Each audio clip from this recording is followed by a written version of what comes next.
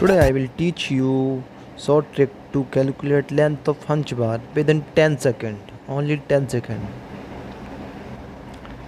यहाँ आप देख सकते हैं, मैंने एक फिगर लिया हुआ है इसमें राफ्ट की थिकनेस 300 वाल 300 हंच 150 फिफ्टी इंटू वन है इसमें क्लियर कवर वाल में 75 राफ्ट में 75 हंच पे 50 एम mm लिया हुआ है, ठीक है और जो मैं आपको ट्रिक बताऊँगा, वो खाली सेम डायमेंशन हो 150 फिफ्टी इंटू वन ये नोट दिया हुआ मैंने one fifty into one fifty three hundred into three hundred nine hundred into nine hundred अगर अंश आपका सेम है तो इसके लिए ही अप्लाई होगा ये। दूसरे के लिए अप्लाई नहीं होगा। उसके लिए मैं दूसरे वीडियो बनाऊँगा जी। तो चलिए, आ गए हैं मेरे फार्मूला पे। देखिए सिंपल फार्मूला है। बस खाली इसमें वैल्यू पुट करनी है आपको और कैलकुलेशन करनी है कैलकुलेटर से।